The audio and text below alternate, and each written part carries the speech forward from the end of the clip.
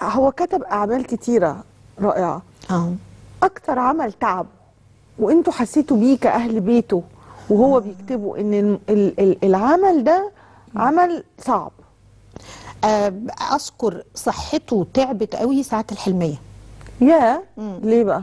آه، في عشان اجزاء أجزاء كان بيقعد فيها فترات كبيرة جدا مليانة. يعني في جزء آه، أنا مش فاكرة الثالث ولا الرابع. يا الثالث يا الرابع. هو جاله آه، في ظهره جاله الديسك. من قعدته من تركيزه الشديد وقعدته ما كانش بي طول وقته بيشتغل تقريبا آه، ف- فكان راقد وهو بيشتغل برضو بعدها.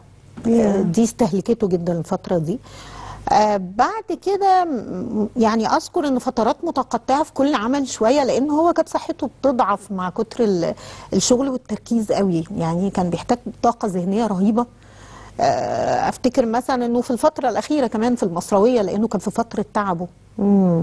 ففي المصرويه هو كان مستهلك جدا وكان بيقاوح يعني أسد بيقاوح وهو تعبان يعني.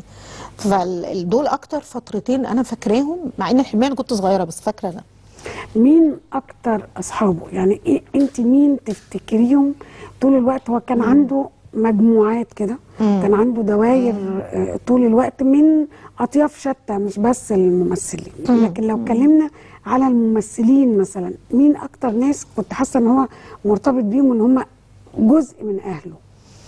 اللي كان مرتبط بيهم الدايرة اللي كانت دايما معاه في كل أعماله من سيد عبد الكريم سيد عزمي محمد متولي آه، عادي شوقي صادق. شامخ وعادي صادق آه. آه وطبعا كان صلاح السعداني يحيى الفخراني مع حفظ الألقاب طبعا وال- والمخرجين اللي معروف بقربهم ليه اسماعيل الحافظ محمد فاضل. آم، آه كانوا مين تاني كان في عاطف الطيب طبعا في مرحلة كان قريب ليه آم، هم شبه بعض ده في الإخراج وده في الكتابة. بالظبط. شبه بعض جدا. آه. أنا دايما بقول المعادل بتاعه عاطف الطيب يعني. أنت اتفرجتي على الاسكندراني آه. لما طلع الاوت كم بتاعه انطباعك إيه؟ آه، انطباعي أنا يعني أعلى من اللي أنا كنت متوقعة. وما كنتش متوقعة أقل علشان حاجة أنا كنت مطمنة هو في إيد مين. بس أنا عندي رعب من فكرة إن الإسكندراني ده لأن هو الإسكندراني آه، أستاذ خالد الحقيقة قدر يطلع فيه تفاصيل. أنا كنت بفكر طول الوقت على قد ما بقول عايزين نعمله بس يا ترى اللي هيجي يعمله هيبقى فاهم أبعاد كتيرة جدا في الفكرة دي. هيبقى فاهم الرسالة كاملة بتاعت الإسكندراني. أنا لما شفته لا الرسالة واضحة لا الفكر طالع ممكن يكون في حاولنا إنه نحدث بالشكل اللي يوصل الرسالة للأجيال دلوقتي اللي بتتابع واللي عايزينها في السينما بس مش بشكل مخل خالص. يعني أسامة أنور عكاشة لو كان عايش وبيتفرج على هذا العمل السينمائي ممكن تقولي إن هو كان هي هيضايقه إيه؟ أنا عارفة انه كان هيفرحوا الفيلم.